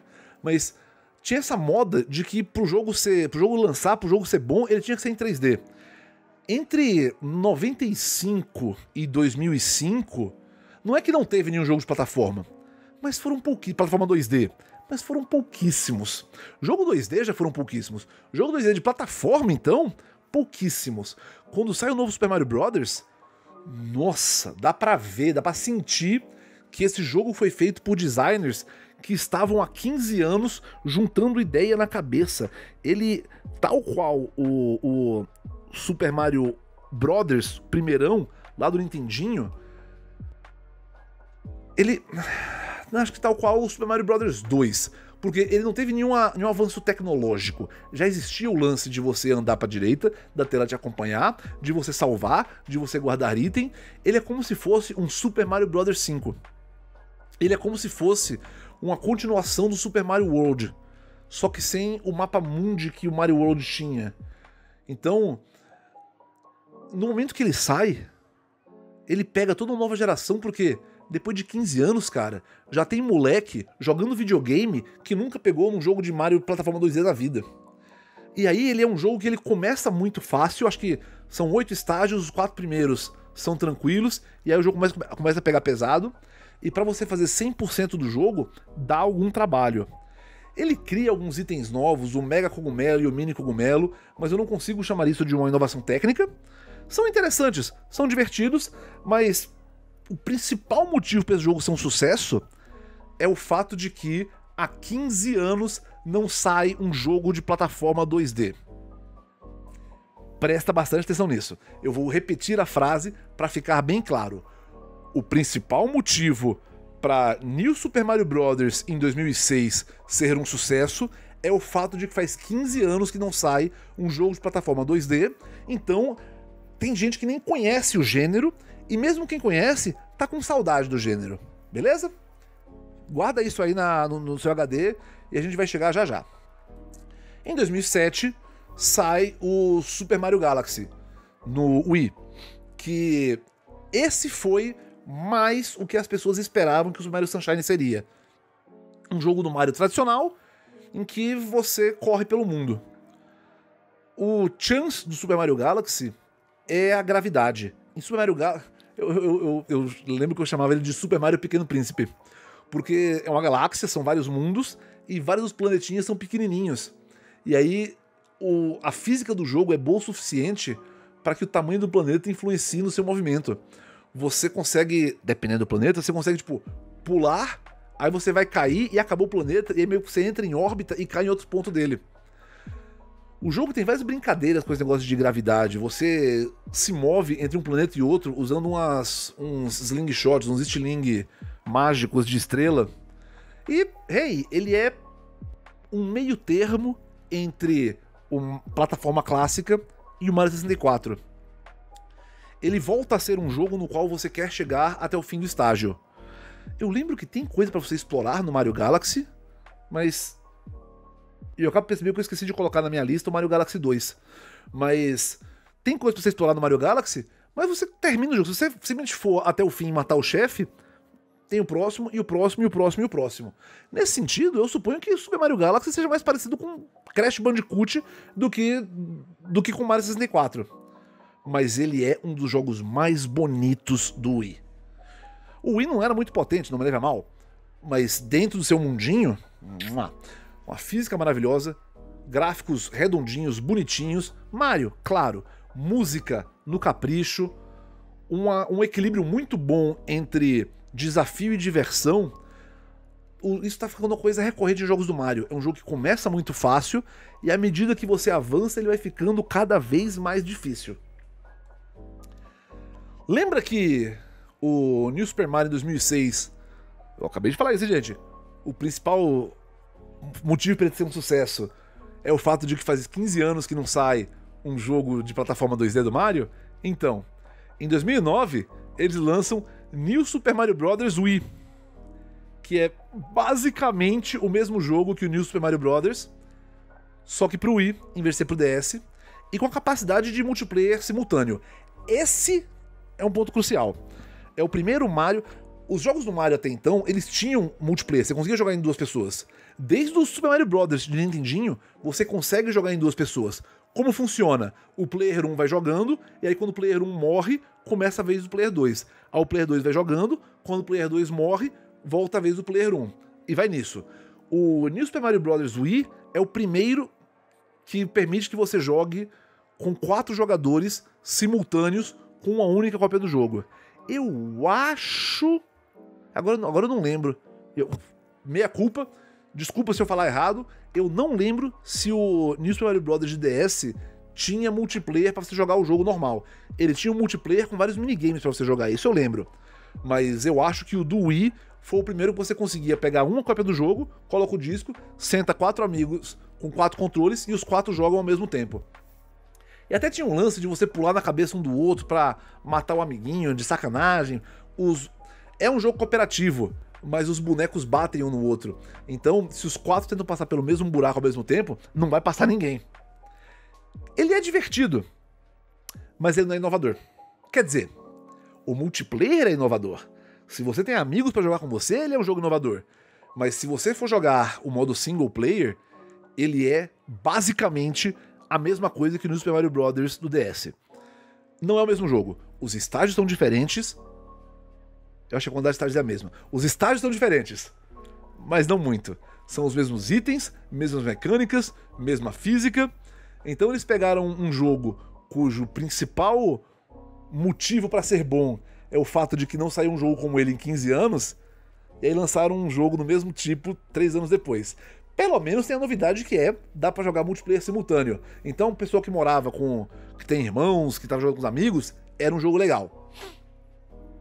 Em 2011, sai pro 3DS o Super Mario 3D Land. É, repara que. Olha como tá ficando espaçado. Antes o jogo do Mario era. tinha até mais de um no ano. Agora a gente tá. Ah! Mario Sunshine 2002. New Super Mario Bros. 2006. New Super Mario Bros. Wii 2009. Ok, pulei aqui o Mario Galaxy 2007. O Mario Bros. Wii 2009. E 2011, Super Mario 3D Land, que é o Mario do 3DS. O 3DS ele foi um console que quase flopou no lançamento. Ele ele era muito caro. Ah, mas tudo da Nintendo é caro. Não, não, você não tá entendendo. Não é que ele era caro para um portátil, ele era caro para um portátil da Nintendo. O, o 3DS, se não me falha a memória, ele lançou por 350 dólares. Que era mais caro que um Wii. Mais caro que um PS3 na época. Era, era absurdo de caro. E não vendeu. Aí famosamente teve o lance que o Iwata, que era o presidente da Nintendo, cortou em, vez de demitir a galera em massa, o que ele fez? A gente lançou um videogame e ele flopou. Então eu vou cortar o meu salário e eu vou cortar o salário da diretoria executiva. A galera que trabalha, que depende disso para sobreviver, vai continuar recebendo. Quem autorizou esse flop fui eu. Então, vou cortar o meu salário e o salário de quem tá no mesmo nível que eu, e a gente vai resolver, vai descobrir como resolver esse problema. Aí eles diminuíram o preço do 3DS e aí ele começou a vender. Para quem tinha comprado ele originalmente, deram um jogo de graça, tal, a coisa fluiu. Mas o lance do 3DS era justamente a tela 3D, que muita gente não gostou. Apesar de ser o motivo da fama do 3DS, muita gente não gostou porque é 3D sem óculos. Que legal!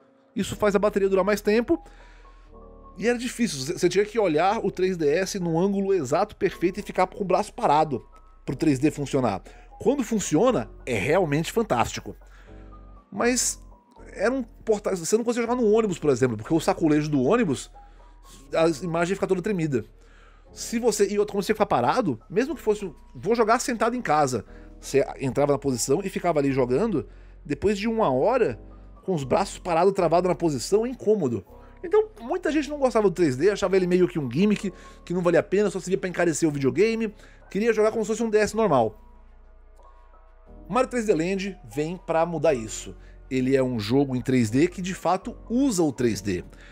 ele é o único jogo, na minha opinião, o único jogo do 3DS, e sim, quando eu falo, é claro que tudo falo nesse vídeo é minha opinião, mas quando eu tô frisando que é na minha opinião, eu quero dizer que eu não fui atrás de pesquisar detalhadamente, isso é, a impressão que eu tenho é o único jogo de 3DS que exige o 3D. É o único jogo que você perde algo por não jogar em 3D. A maioria dos jogos, se você desliga o 3D do 3DS, é, é só um, um, um firuliro gráfico. É tipo jogar jogo de PC sem ray tracing.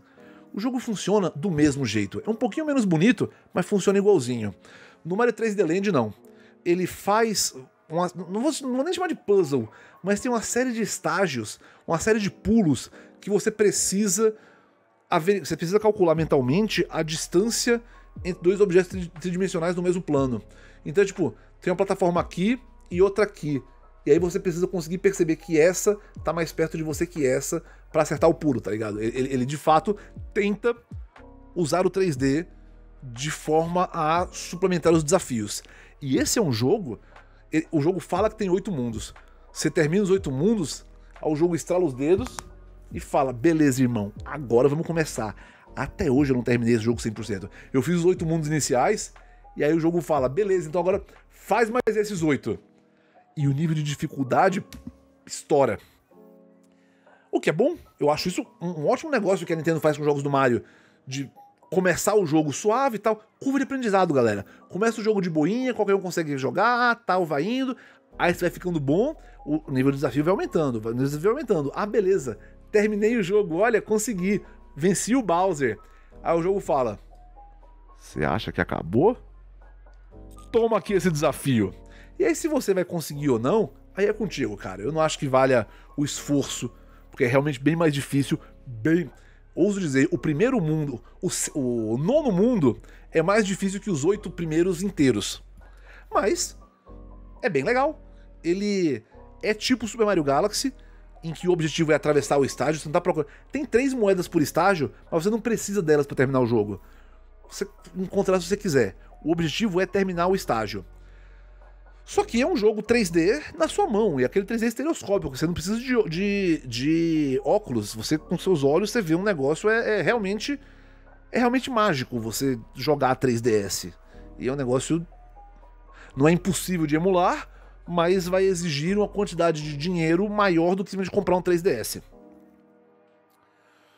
Após o Mario 3D World. Opa, não, 3D Land, calma. É importante. Lembra que o Mario 3D Land, a ideia dele é causar é ter puzzles que você precisa desse 3D estereoscópico para conseguir navegar. Em 2012, lançamos o New Super Mario Bros. 2 no 3DS e o New Super Mario Bros. U no Wii U. Eu gostaria de frisar novamente que a principal graça de New Super Mario Bros é o fato de que é um jogo de um gênero que não é lançado há 15 anos. Em 2012, nós temos quatro exemplares de jogos desse gênero lançados nos últimos cinco anos. O New Super Mario Bros. 2, eu acho que é o primeiro jogo de Mario que eu diria que é ruim. Eu não gosto desse jogo. Eu não posso dizer que ele é ruim, Obviamente ele não é ruim, ele, ele, ele, ele, é bem feito, ele é bem programado, ele não tem nenhum bug, ele é bonito, a música é agradável. Mas ele é chato. O, o Mario 3D Land, eu joguei, eu fiz os oito mundos, e aí o nono mundo, me, o décimo mundo me venceu. Porque a dificuldade do jogo sobe muito eu falo, nossa, tá bem difícil, não consigo vencer isso. Igual o Mario Lost Levels, nunca zerei. Nossa, é muito difícil, não consigo vencer isso. O Mario World, eu não fiz 100%. Eu joguei, eu gostei bastante, mas eu não gosto de ficar procurando segredinho. Uma coisa Mario 64, eu nunca fiz a 100... O meu irmão fez a 120 estrelas do Mario 64. Eu só queria matar o Bowser e, e jogar outra coisa. Não, não gosto muito de procurar tesouro. O New Super Mario World 2 é o único... Hum, ainda é o único? É, é o único jogo do Mario que eu peguei para jogar. Eu comprei o jogo, eu comecei a jogar e aí, depois de alguns estágios, eu falei, pô. Eu não tô me divertindo. Eu vou só fechar a tampa e vou fazer outra coisa. Talvez seja coisa de idade, talvez. Talvez seja gosto variando? Talvez. Eu não acho que seja variação de gosto meu, porque eu até hoje gosto de jogos de plataforma. Eu pego um. um... Nossa, eu ia falar Ninja Cop. É. Deu branco o nome do. do... Moonrider. Saber Knight Moonrider. Eu ainda gosto de jogos de plataforma. Eu continuo jogando. The Messenger, Shovel Knight. Eu gosto de jogos de plataforma. Ainda continuo jogando e procurando eles. New Super Mario Bros. 2, eu nunca terminei o jogo. Não porque ele me apresentou um desafio que era difícil para mim, ou porque ele apresentou um desafio que eu falei, puxa vida, eu, eu, eu não, go não gostei, não, não gosto dessa parte do jogo. Ele é um jogo que eu parei de jogar por mero tédio. Ele tá aqui do lado. Ele comprou da minha coleção de Mario. Eu não quero. Prefiro, prefiro jogar outra coisa. Qualquer outra coisa. Eu não me divirto jogando New Super Mario Bros. 2. Qual que é o lance de. Eu, eu falando aqui que eu não gosto, eu não falei por quê, né? Eu, animal. O New Super Mario Bros. 2, ele meio que troca o foco de você terminar o estágio por você conseguir moedas. E ele coloca um monte de moeda. Pensa um jogo. Parece jogo do Wario, na real. O objetivo do jogo é pegar moedas. Você consegue terminar o estágio. É muito fácil terminar o estágio. Mas o que o jogo quer é que você pegue moedas. Tá, e é difícil pegar as moedas? Não, não é. Tem moeda para todo lado. Tem estágios inteiros cheios de moeda, tem item novo que gera moeda, tem item para transformar os inimigos em moeda, tem moeda saindo pelo buraco do. Nossa, tem, tem literalmente item que faz as moedas voarem do chão. É moeda para todo lado. O problema é justamente esse, não tem desafio nenhum. Eu suponho que é possível que, tal qual o Super Mario Land ou o Mario Galaxy, depois que você termine o jogo, tenha um novo modo de jogo que seja muito mais difícil. Eu não consegui ter saco para terminar o jogo essa primeira corrida. É só correr para lá e pra cá e ver o. Mano, é, é, é tipo jogar um caça-níqueis virtual em que você não coloca dinheiro nem ganha dinheiro. É apertar um botão e ver o número de moedas subindo. Eu não gostei. Se. Se o New Super Mario Bros. 2 fosse lançado em 2006 e fosse o primeiro jogo de plataforma 2D em 15 anos, eu provavelmente gostaria. Provavelmente eu estaria com tanta saudade do gênero que ia jogar e ia gostar. Mas sendo o quarto jogo de plataforma 2D em 5 anos, eu tô bem legal, cara. Eu prefiro jogar outra coisa. E aí nós temos também o New Super Mario Bros. U, que é o New Super Mario Bros. Wii no Wii U. O que, que ele inova? Se você descobrir no que ele inova, me conta. Por, por, favor, me conte. Porque, ok, ele, ele é considerado um dos melhores jogos do Wii U, mas eu entendo que ser um dos melhores jogos de Wii U é tipo ser um dos melhores times de hóquei no gelo do Rio de Janeiro. Tá, que bom, cara. O Wii U tem três jogos, um deles é, um, um deles é o melhor. Parabéns. Ele é o New Super Mario Bros. Wii. Eu, eu, tá, tudo bem, os estágios são diferentes. Qual que é a inovação dele? A inovação dele é que você consegue jogar multiplayer simultâneo. Isso não é inovação. O, o Wii já fazia isso dois anos atrás. Três anos atrás, na 2009, né? A geração do 3DS e Wii U foi o ponto baixo da carreira da Nintendo. Assim, de longe. Eu sei que a geração 3DS e Wii U financeiramente foi mais sucesso do que a época do 64 para Nintendo. É, eu acho que também foi mais sucesso financeiro que a época do GameCube. O 64 e o GameCube, financeiramente falando, foram fracassos para Nintendo. Tem ótimos jogos, estão no coração de muita gente, mas do ponto de vista de ganhar dinheiro, a Nintendo sobreviveu. Não é que ela lucrou, ela sobreviveu. E aí eu acho, mas eu acho que do ponto de vista do consumidor, a geração 3DS e Wii U é o que menos tem jogo bom. Eu não disse que não tem jogo bom. Eu disse que é o que tem menos jogo bom. Eu tô comparando com o Nintendinho, com o Super Nintendo, com o Wii. O Wii U e 3DS foi, foi fraquinho. Em 2013, eles lançam pro Wii U o Super Mario 3D World. Lembra o 3D Land que fazia puzzles baseados no 3D estereoscópico? Então, eles fizeram a mesma coisa pro Wii U. Mas Elba, eu achei que o Wii U não tem 3D estereoscópico. Você está certo, Joãozinho, ele não tem. Mas Elba, qual que é a graça do Super Mario 3D World então? Assim que alguém descobrir, me conte. Na verdade, seja dito, eu comprei esse jogo na versão de Switch, eu não joguei ainda. Eu tô louco para esperar para descobrir qual que é a graça. Mas o motivo pelo absolutamente não ter comprado o jogo, na real, esse foi o motivo pra eu ter pulado o Wii U como um todo. Eu tava louco, eu já colecionava videogame na época. Eu tava doido por um motivo para comprar um Wii U. Mas todo jogo que saía tinha algum problema gritante. Ah, saiu New Super Mario Bros. U. Tá, é a mesma merda que o Super Mario Bros. do Wii.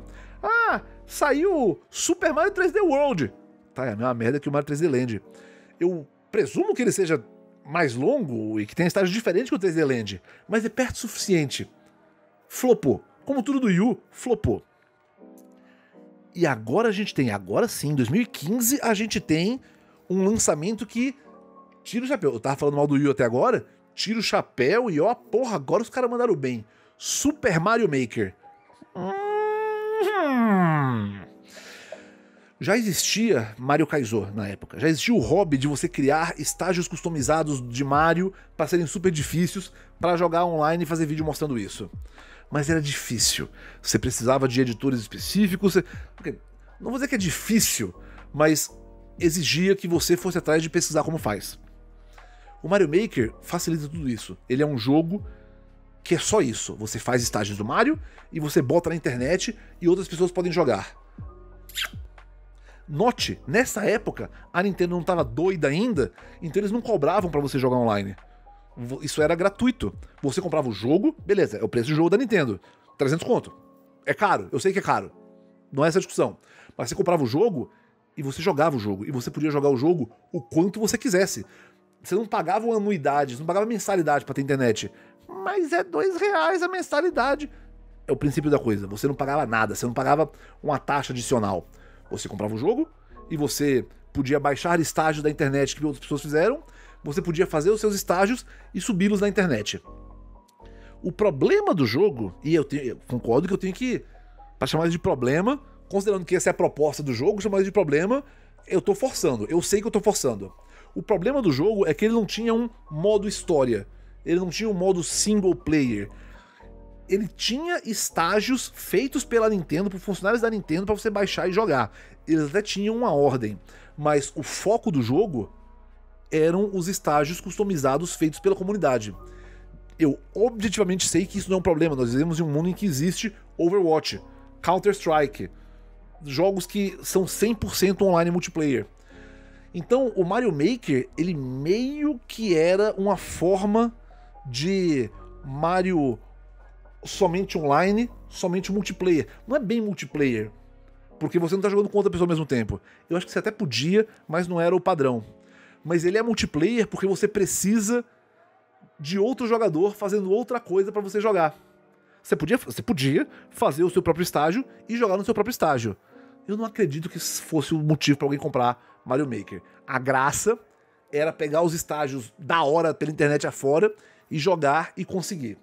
Mario Maker seria o único Mario do Wii U que eu tiro o chapéu, bato palma. Exceto que já fecharam os servidores do Wii U, então hoje em dia você não consegue mais jogar o Mario Maker original do Wii U.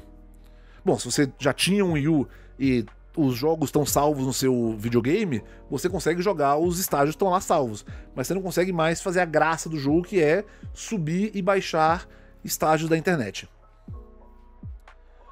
E outra coisa, aí vai o fato de que eu, na minha, no meu cetismo reclamando do Wii U, o motivo por eu ter pulado ele foi que eu fiquei tipo, mano, eu queria um Mario, eu queria jogar, jogar Mario. Sabe jogar Mario? Senta, pega e joga e corre. Eu não quero jogar os estádios que um bando de maluco fez. Vai ser um monte de estádio merda. Eu pensando, né? Vai ser um monte de estádio merda, vai ser um negócio. Yeah, yeah, yeah. Eu tava errado nesse ponto. Eu, eu sei que eu tava errado nesse ponto.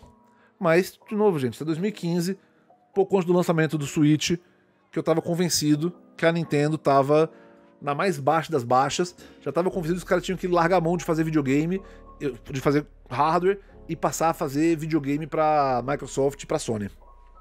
Ei, eu sou maduro o suficiente para admitir quando eu estava errado, e eu estava errado.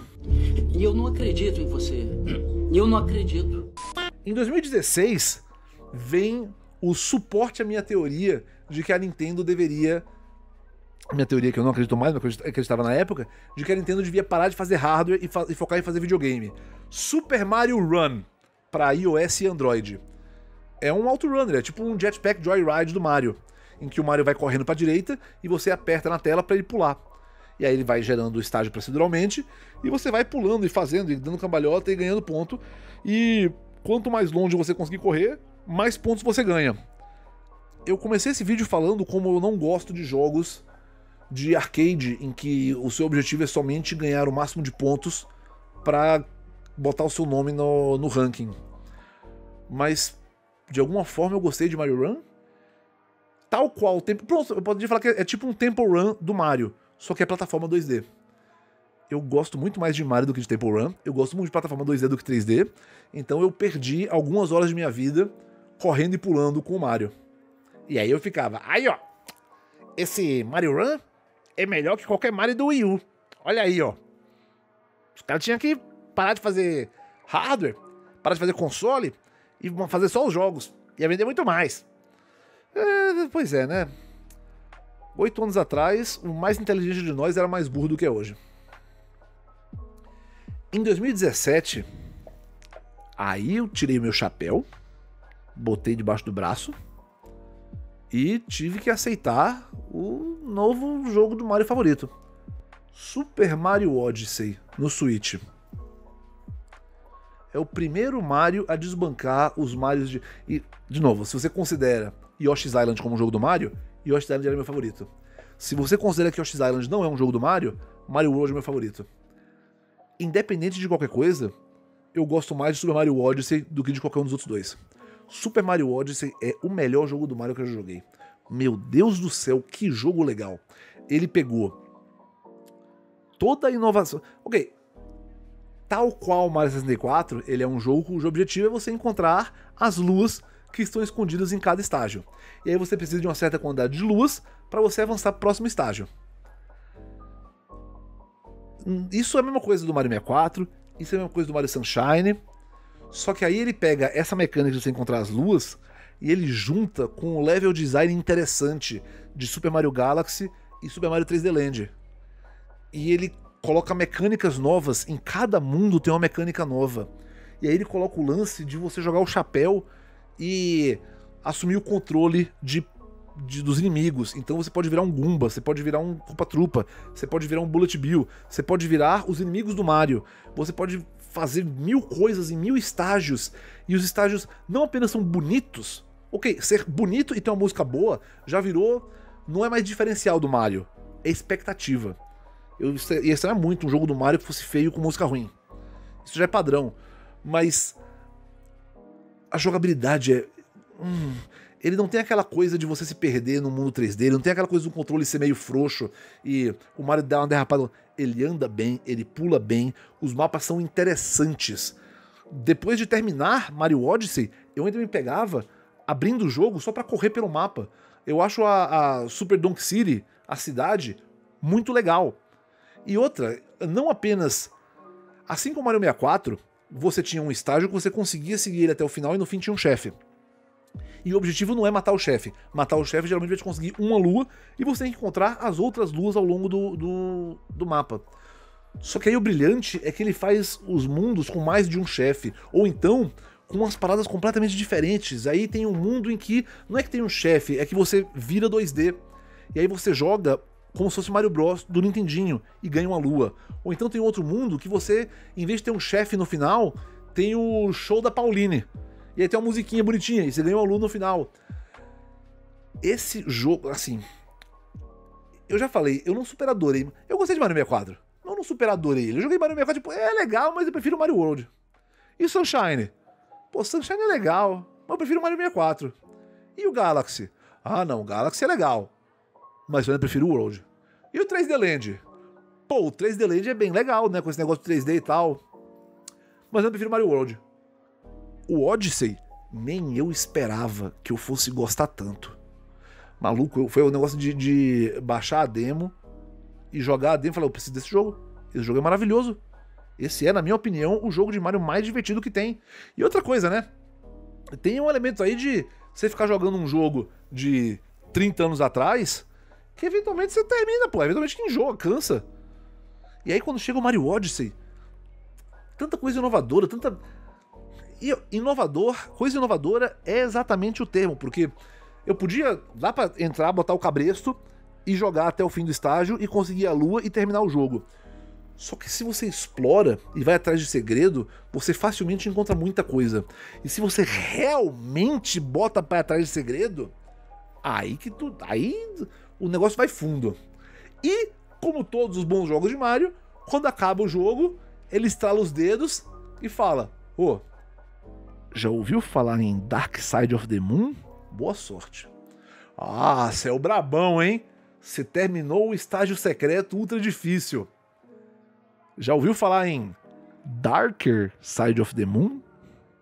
E eu não terminei o Dark Side of the Moon e eu não gosto de ir atrás, de olhar o wiki, de olhar guia, de ver o que eu tô perdendo, mas eu não vou me surpreender se existir um Darkest Side of the Moon depois desse estágio.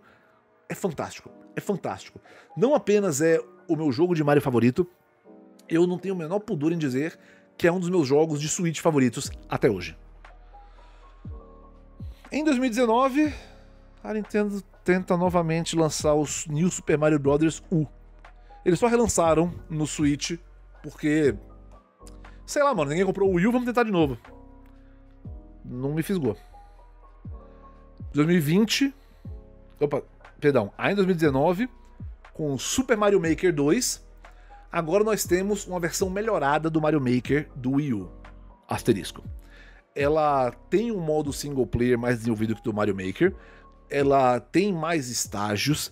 Ela tem mais coisa para ela tem mais ferramentas para você criar estágios, o que permite fazer estágios maiores e mais complexos. Além do que, o Switch tem mais memória que o Wii então ele também consegue fazer estágios maiores por causa disso. Quando sai Mario Maker 2, o online do do Switch ainda é gratuito. Mas já, tá, já tava anunciado que iria deixar de ser. E aí, vocês podem me chamar de velho paia por isso, mas eu me recuso. Pode ser um real por mês. Eu me recuso terminantemente a pagar mensalidade para jogar online no videogame. Mas não é mensalidade, é anuidade. Dá na exata absoluta mesma. Não é uma questão financeira, é uma questão de que eu estou pagando em troca de nada. O jogo não tem um servidor. Ok, minto. Mario Maker 2 até tem um servidor. Mas tanto jogo indie sustentando servidor na, baseado na venda dos jogos, eu acho muito zoado que a gente esteja. O que diabos a gente tá financiando ao pagar o online da Nintendo? Esse vídeo não é para reclamar do Nintendo Switch Online. Eu já reclamei muito do Nintendo Switch Online em vários outros vídeos. É só eu, velho paia, me recuso terminantemente. Se eu preciso pagar, eu, eu já não gosto muito de jogar online. Vou ter que pagar para isso? Esquece, filhão. Eu já não tenho hábito de jogar online pagando. Você tá maluco. Em 2020, o Mario completa 35 anos. E aí nós temos o Super Mario 3D All Stars. Eu esqueci de falar do Mario All Stars do Wii. Tem uma, um, uma versão de Mario All Stars pro Wii que é vendido em disco e que foi um golpe, porque ele é basicamente a ROM do Super Nintendo num CD de Wii. O que acontece é que o Wii tinha um Virtual Console, em que você comprava cada jogo de Nintendinho por 5 dólares e cada jogo de Super Nintendo por 8 dólares. Então, se você comprasse Mario All Stars pelo Virtual Console, você pagaria 8 dólares, porque é um jogo de Super Nintendo, e você ganharia 4 jogos de Nintendinho, que dá um total de 20 dólares. O que a Nintendo fez então, ela em vez de colocar no Virtual Console o Mario All Stars, ela lançou num disco e ela cobrava 30 dólares. Não é muito diferente do que ela fez com o Mario 3D All Stars, é verdade. O Mario 3D All Stars é um disco, é um cartucho de Switch com Mario 64, Mario Sunshine, é, Mario Galaxy. São os três. 64, Sunshine e Galaxy. A diferença é que o Mario, na minha opinião, é o motivo pelo qual eu comprei o Mario 3D All Stars é porque o Mario Sunshine é caro para um caralho. É assim, o, o Mario 3D All Stars foi lançado por 60 dólares. É caro? Caro. Quando ele foi lançado, antes dele ser anunciado, o Mario Sunshine de GameCube estava entre 110 e 120 dólares. Depois que foi lançado o Mario 3D All Stars, o preço do Sunshine deu uma caída, é verdade. Mas ele ainda é bem mais caro do que comprar o 3D All Stars. E como eu não tinha, eu na época do GameCube eu não comprei o Mario, o Mario Sunshine, ora essa. Ao invés de comprar no GameCube, eu compro no Switch, para mim tá bom. E também jogar Mario Galaxy em avião é, é da hora. Eu, eu, eu gosto. Não tem nada de super especial. Tem uma coisa especial, ponto negativo. 2020 foi o aniversário de 35 anos do Mario. Então, tanto o 3D All Stars quanto o próximo jogo que eu vou falar foram lançados por tempo limitado. Foram os jogos do aniversário de 35 anos do Mario. Foram lançados em 1 de abril de 2020 e eles foram retirados do mercado no dia 1 de abril de 2021. Isso não foi surpresa. A Nintendo anunciou aos quatro ventos que era, ó, é isso aí, galera. Aniversário de 35 anos do Mario, a gente vai lançar para comemorar dois jogos que só vão estar disponíveis durante esse ano. Acabou esse ano, acabou o jogo. Os dois jogos foram Mario 3D All Stars e Super Mario Bros 35. Mario Bros 35, eu admito, até fiquei com vontade de pagar anuidade para jogar. É uma mistura de Super Mario Bros com Fortnite. São 35 jogadores, ele faz uma tela, divide ela em quadradinhos, a sua no meio e os quadradinhos ao redor. Com 35 jogadores jogando Super Mario Bros, o primeiro original de Nintendinho, ao mesmo tempo. O seu relógio começa com 35 segundos. Toda vez que você mata um inimigo, o seu tempo aumenta. E se você mata vários inimigos em sequência, não é que cada inimigo dá um segundo, mas se você mata vários inimigos em sequência, você vai ganhando cada vez mais segundos por inimigo. E toda vez que você mata um inimigo, esse inimigo cai no jogo de algum dos outros 34 jogadores que estão jogando com você. Toda vez que alguém morre, ele sai do jogo, e o último dos 35 que ficar é o grande vencedor. Meu Deus do céu, eu fico tão chateado que a Nintendo tirou esse jogo, porque é fantástico, é divertidíssimo. Olha que boa ideia. Mano, eu, eu sem sacanagem, eu pagaria. Não sei se eu pagaria 60 dólares, não sei se eu pagaria 300 reais, mas eu pagaria dinheiro por um Mario 35, em que 35 pessoas estão jogando Mario Brothers competindo entre si. Eu achei a ideia muito. É, é, Mario Bros, Super Mario Brothers, competindo entre si. Eu achei a ideia muito bacana.